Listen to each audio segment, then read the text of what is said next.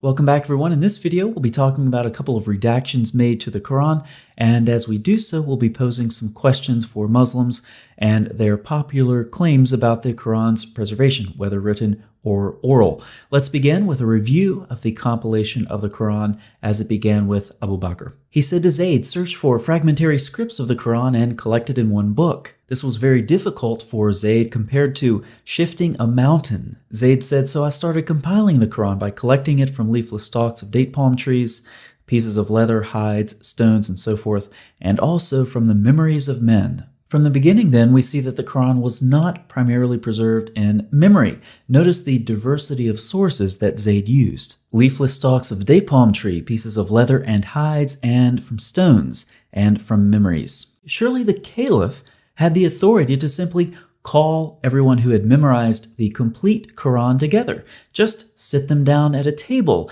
and as they recite, have Zayd record their words. But this isn't what happened. The Quran was in fragmentary form, explaining in part the difficulty of Zayd's task. Nevertheless, he finished his work, and the manuscripts of the Quran remained with Abu Bakr, and then Umar, and then Hafsa. Now let's fast forward to Uthman. Problems arose because of differences in the recitation of the Quran, so Uthman sent a message to Hafsa asking for the manuscripts that he would compile in perfect copies and then return them. He called on Zayd once again. In the case of any disagreements, it was to be written in the dialect of the Quraysh. When this was complete, Uthman sent his copies out to various provinces and ordered that all the other Quranic materials, whether written in fragmentary manuscripts or whole copies, be burnt. Now you would think Zayd would say something like, I've already done this, why am I doing it again? But he doesn't seem to object. But notice the concern.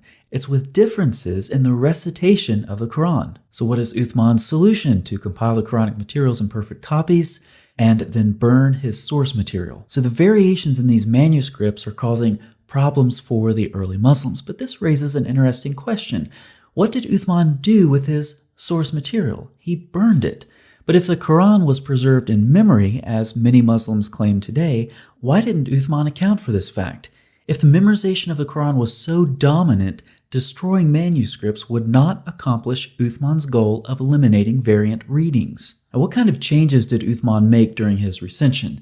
Well, of course, it's difficult to tell when you burn your source material, but we do have some reports about some problems with Uthman's recension. Numerous tafsir and other sources describe the 200 verses that were once in Surah 33. But when Uthman wrote out the codices, he was unable to procure more of it than there is today. And interestingly, according to Ubay ibn Ka'b, during the lifetime of Muhammad, Surah 33 had 286 verses. Notice these were recited in the lifetime of Muhammad and then lost after. So Uthman apparently lost several dozen verses out of just one surah, but he also made some unspecified changes. Abu Muhammad said whilst copying the Mushafs, he burnt what he burnt from them from what he had changed intentionally or by mistake. Aisha's copy contained a variant reading of Surah 3356, but this was before Uthman altered the scripture. There are dozens and dozens and dozens of these reports, so let's just leave them for now and move further down our timeline. Did Uthman eliminate all of the variant readings? No, he did not. In the early 8th century, Al-Hajjaj, who is the governor of the Caliph Abdul Malik, is talking about a reading attributed to Abdullah bin Masud, and he doesn't like it. He doesn't like it at all. I mean, he really doesn't like it. Al-Hajjaj swore that he would erase Ibn Masud's reading from the Mus'haf, even if it would be with a rib of a swine. On these early manuscripts, if you want to erase the ink off the parchment, you have to scrape it off with a stone or something of that sort. In this case, Al-Hajjaj says he would scrape Abdullah ibn Masud's reading off the manuscript with the bone of a pig. This is the guy revising your Quran, Muslims.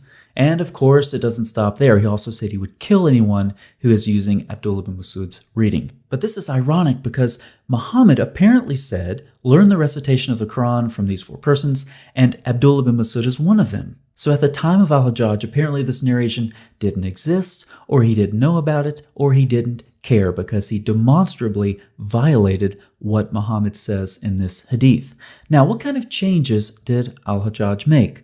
Once again, it's difficult to tell, but we can try to paint a rough picture. The sources report that the Caliph, Abdul Malik, instructed his advisor Al Hajjaj to revise the text of the Quran by changing the consonantal skeleton of certain words.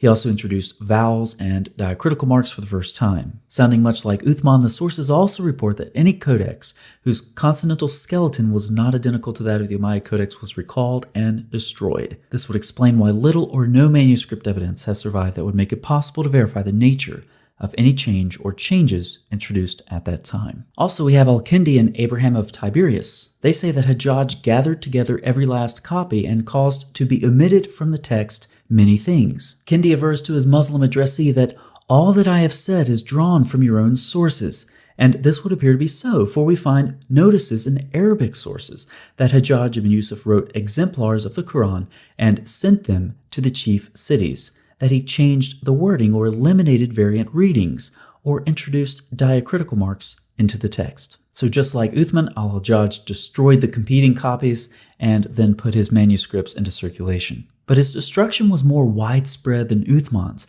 Al-Hajjaj destroyed both public and private manuscripts. As you can imagine, some were not happy, including Uthman's family. We have a report of the angry reaction of the family of Uthman towards the new Medinan Quran recension. The governor of Egypt even flatly refused al Hajjaj's new Quran, but in spite of these difficulties, he was largely successful in standardizing his new text, and by the 2nd century AH, Uthman's manuscript had become a thing of the past. The Uthmanic Codex had disappeared. We have a couple of questions that are relevant to the preservation of the Quran. Whose Quran or recension was memorized or preserved? Was it Muhammad, Uthman, or Al-Hajjaj? Further, who gave Uthman or Al-Hajjaj the authority to redact the Quran? These are important questions that Muslims who want to claim the Quran has been preserved need to answer. Let's put this another way. On your screen, you have a timeline with dates for the various Qurans and or recensions. Now, our timeline begins with Muhammad's death at 632, but there's very good reason for thinking that Muhammad was alive several years later. We have about 11 sources from the 7th and 8th century that indicate this. But we'll start with 632, so let's just go with that. Now let's ask some questions. Which Quran has been preserved along this timeline? If it's the one from Muhammad in 632, then why was Zayd's collection needed? And why was it so difficult to collect the Quran? Why did he need to collect it from so many different fragmented sources? How do we know Abu Bakr's Quran was reliable at all? Moving on to Uthman around 650, why was Uthman's standardization needed? Why repeat Abu Bakr's work done just over 15 years earlier? If the Quran was memorized as Muslims claim, then why the differences? And why did Uthman destroy manuscripts? If the Quran was memorized, this would have done no good.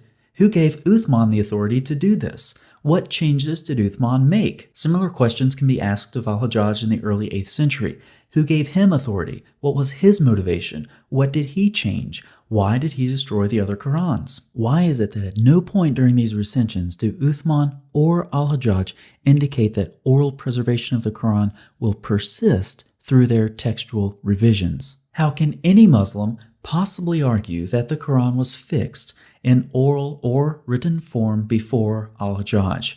The data say it was not. The concept of a fixed Quran in either Muhammad's time or Uthman's time is complete fiction.